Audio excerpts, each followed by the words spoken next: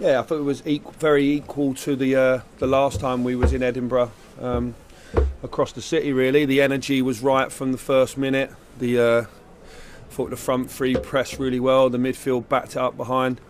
The one poor moment in the night was obviously we defended the set play. Our organisation was wrong on the first goal, but after that.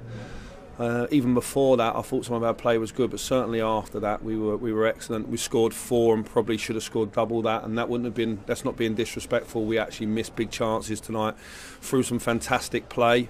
Um, and the energy was good. It all comes from the out of possession stuff, really. Did you, Tony you obviously you spoke highly the weekend, but the way he's responded to this opportunity again must really please you. Just got natural enthusiasm, like goes and presses and works with his teammates, and he's part of the team. And uh, I'm delighted for him because he didn't score at the weekend.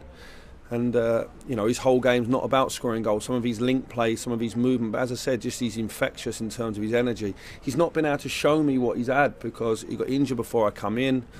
He's been playing bit parts here and there, but the last few weeks he started to look really fit. I've seen his personality come out in the group.